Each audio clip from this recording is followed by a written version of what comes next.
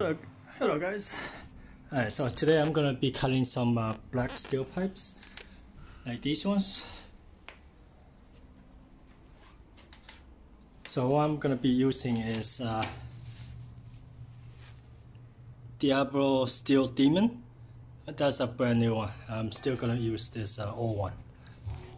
Uh, it's slightly used, I guess that's what you could say it was used, that one blade was used to cut all these steel pipes out. So this is uh, one more long, really long pipe. I'm going to cut in uh, sections and take it out. It's in there somewhere. Okay, so this is the pipe I'm looking to cut. It's a long stretch of our old radiator pipe that was used for water heating, you know. So first I'm gonna remove all the uh, wiring around it so nothing's get cut. Move them aside. Then I'm gonna start cutting it. I will give you posted. Okay, so I move the wires out of the way. So uh, this is here, this area I'm going to start cutting it over here somewhere. Yeah, over here. I'm gonna cover up the motor so no debris goes in. So that will be uh, doing a little section. And I could put it out from this way and the rest will be put back into that way.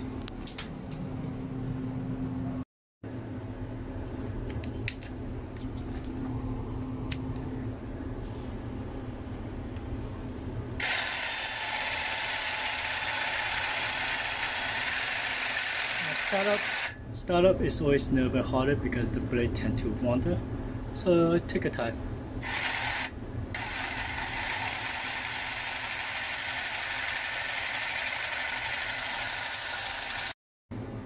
When you're cutting don't force the blade too much you might get caught.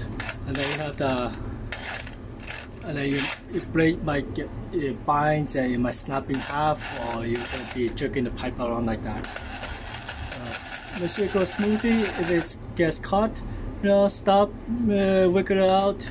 Sometimes you might have to redo your cut a little bit, you know, to enlarge the opening a little bit so the blade goes in smoother. Because your blade might be cutting a little bit to the go sideways a little bit and it get caught.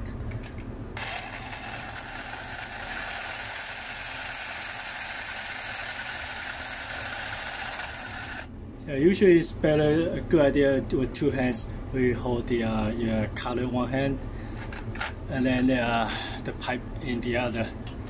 Right? And that's what I'm gonna be using. So I got it started already. It's uh, in a quarter of the way, or less than a quarter, one fifth. And then slowly I'm gonna cut through. Okay, so I'm halfway halfway through already through this pipe. So it's not that hard. Just like the, uh, the tool itself is heavy you know, when you have to reach up overhead uh, if you're doing it by one hand of course it's going to be harder too right? So you know switch hands once in a while so you don't get tired out too much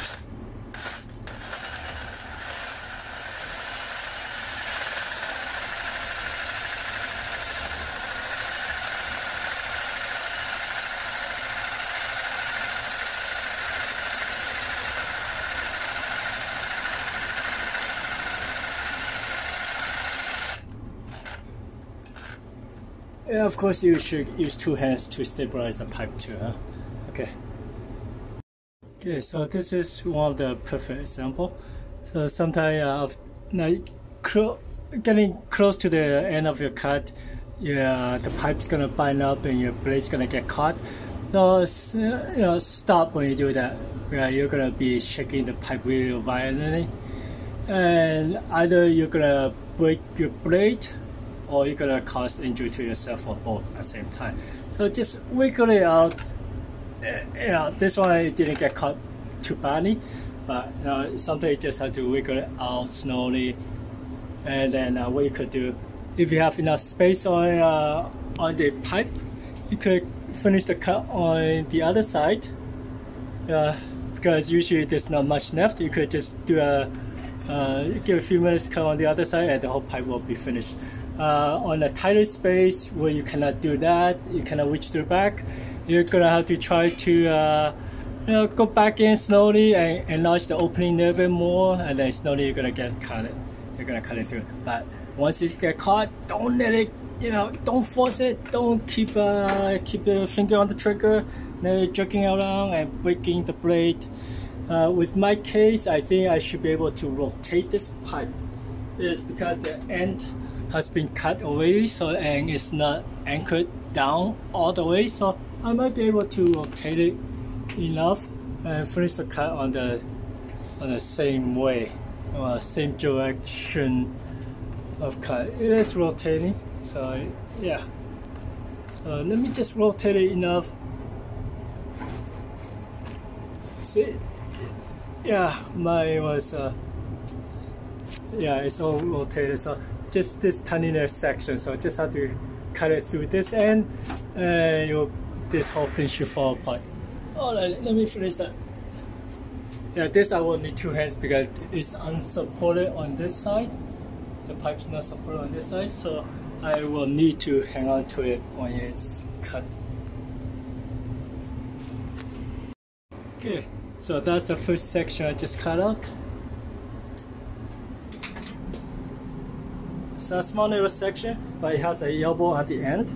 So for me to cut it and pull through the through the uh, hole, I have to move the elbow, otherwise it might not go through and that's the uh, maximum safe space I could cut it from. Any further in, uh, not gonna be easier. Right, so next cut is gonna be uh, through the other side. Okay, so after looking at the piping for a little while, I think this probably will be the best spot for me to cut it. Right here, there's some uh, opens. Actually, no. Uh, yeah, I will cut. I, I will either cut it here or I will either cut it here. And then I will make a cut over here. Here is good.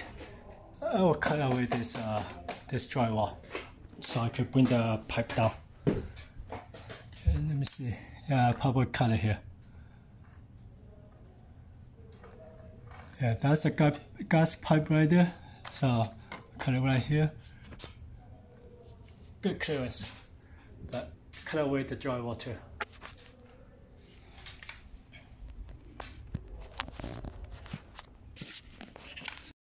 So for the drywall, I could just use a reciprocal also.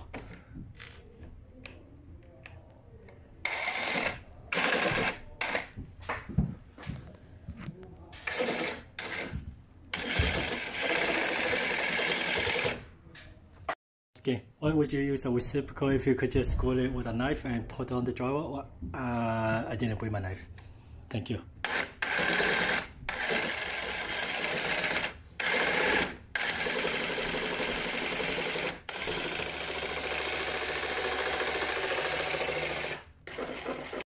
Okay, so drywall's out.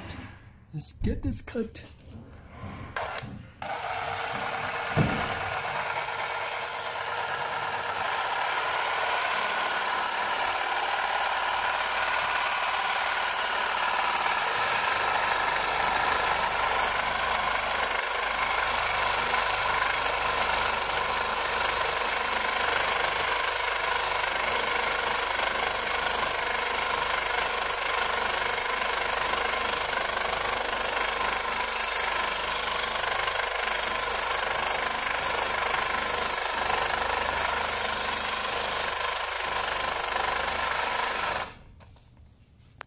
See how the blade was moving around? Don't worry about it. Just move it around the board until you finally sink back in there. When it's cut enough groove out of it, it will stay in the groove. It's very noisy, so always wear your ear protection. I, am gonna put my ear protection on and continue, continue the cut. So same as uh, the other cut, I rotated the pipe around because it was getting uh, caught so I'm uh, cutting it from the back side. It, it's almost finished also. let's try to that continue.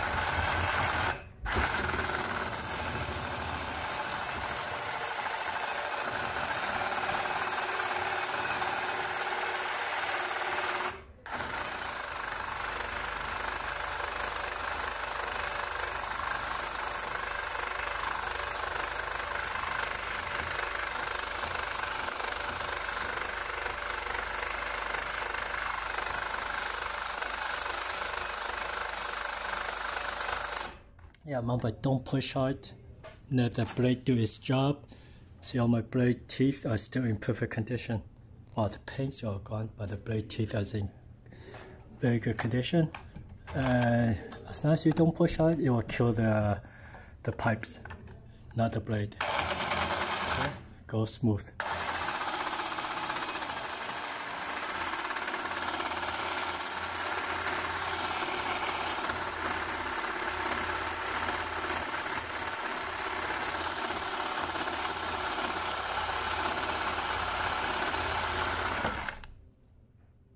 There you go. Clean cut. Alright, so I'm gonna cut the other side and bring it down this section of the pipe and just keep cutting. When you're cutting pipes that's hanging, make sure you know what's gonna happen after you cut it. So with this pipe, I know that side is supported, but this side is not supported anymore because it's been cut over there. So I'm gonna have to put my hand on this and hold on to it so it doesn't drop suddenly and bind the blade and snap in half or cause or you know, cause me damage, uh, injuries.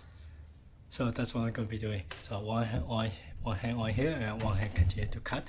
But also because I'm al almost through, I'm gonna rotate rotate the pipe also so make the cut easier oh, not almost through huh but three quarter of the way let's start this way because when you once you get to the uh, close to the end. You'll usually bind up okay. So let me start with that.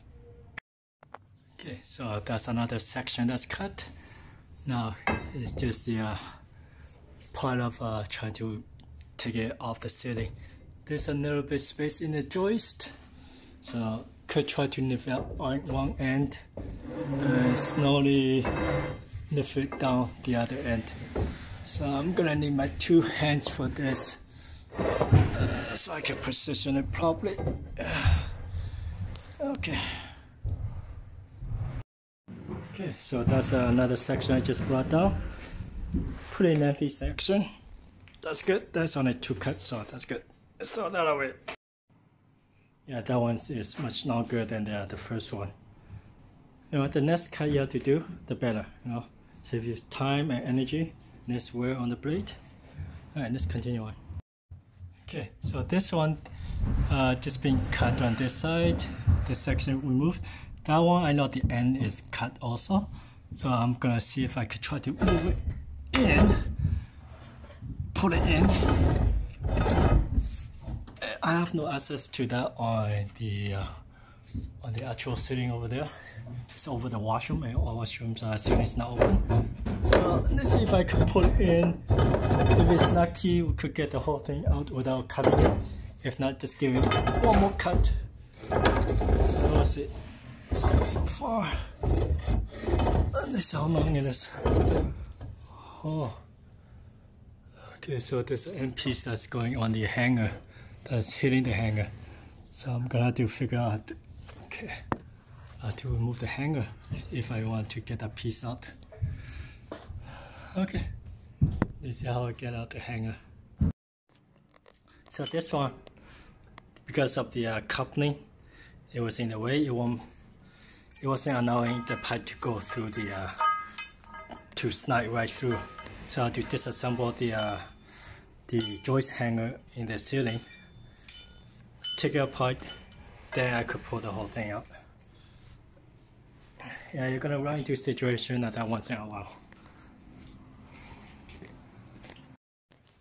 So with that section's being pulled out, and this section being cut, I'm gonna see if I could pull some over and cut it here because this is a good cutting spot. a good opening spot.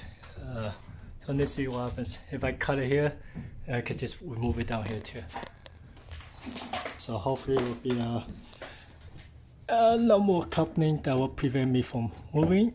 Uh, I guess not. Uh, yeah, it's not moving, so there's a coupling in the way somewhere. So I'm gonna go to the other side of the room and find a spot to cut it. Alright, so in this room, the pipes are above this ceiling right here.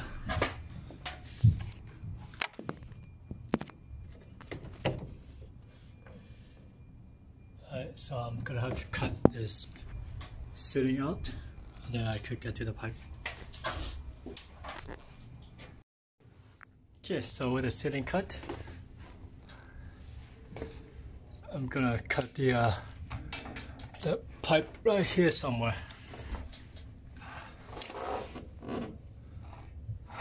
Yeah, that's good enough.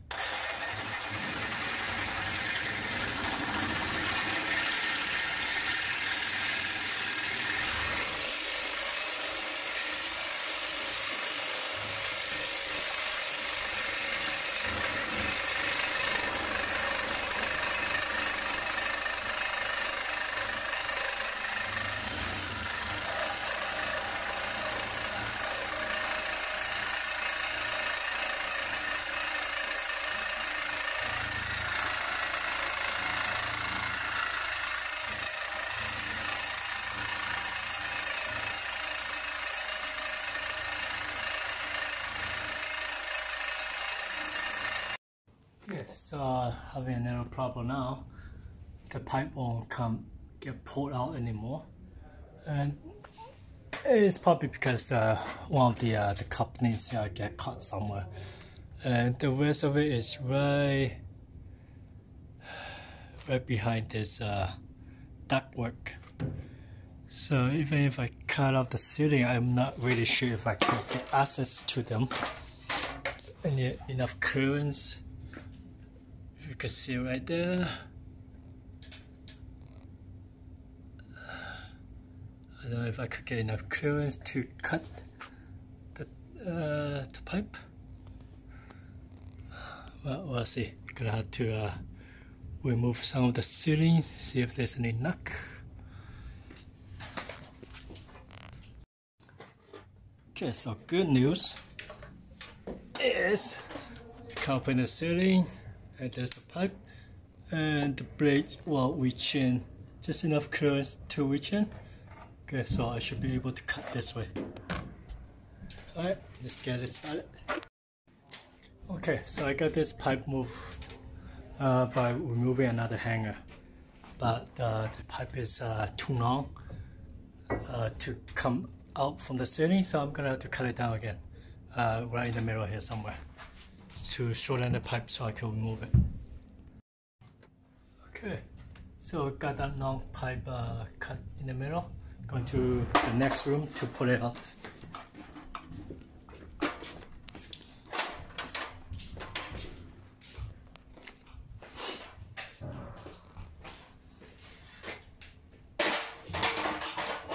Okay, so this one side of the pipe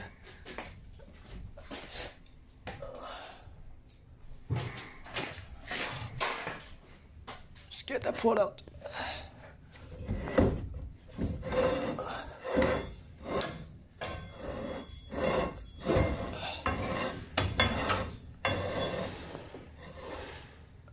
Okay, there's the end of it.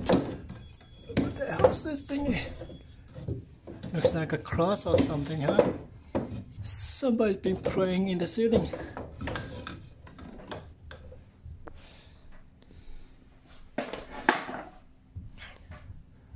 Right, so same as before, raise up one end into the joist and the other, well, it came crashing down the ceiling and just put it right down. There we go. Let's get the other side out too. Okay, pull the pipe over and just cut another section now. So let's pull that section out also. So that's the section I cut. Let's put it out and get it out of the ceiling.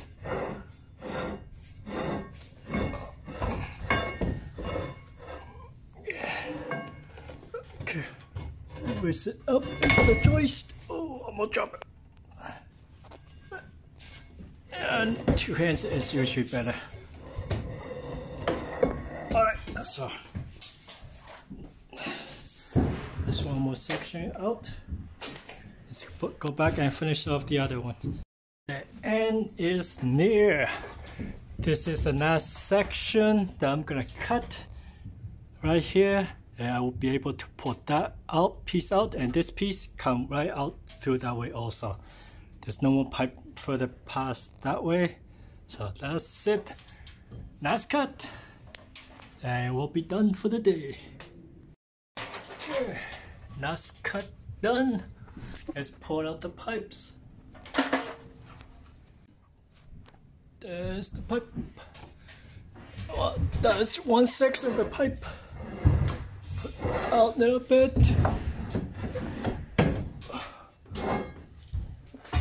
So I can raise it up. Oh, it just goes straight down. Okay, enough clearance. Go straight down, so that's good.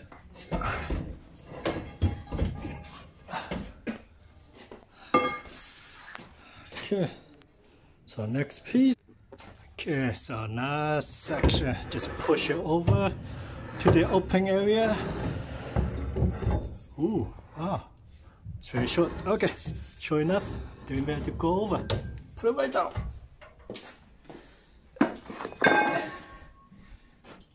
Alrighty, so that's all done. So all these pipe today, it's not too long, what, uh, 40, 50 feet, 60, probably about 50 feet, something like that of a black steel pipe that was used for all uh, water radiators all cut in pieces with the Milwaukee uh, hacksaw hacksaw uh, reciprocating saw 18 volt M18 okay, and use a Diablo steel demon blade and look at the blade, still practically perfect. Of course, there was some bind-ups in the piping, but uh, you just wiggle the blade slowly out and continue cutting, and it's good. That's one single blade cuts all this pipe and these pipes. That's about three days of cutting. One blade still going strong. I totally recommend it. Diablo Steel Demon. Let's see if I get the original one. So this is the one that's still not used yet. It's brand new. That's how it looks like. Diablo Steel Demon. This is uh what? 8 teeth 8 TPI this 9 inch okay. 9 inch extreme metal cutting carbide tipped thick metal cutting if you have any metal work that you need to cut I would definitely recommend this. Perfect. Thanks for spending the time with me today. See you guys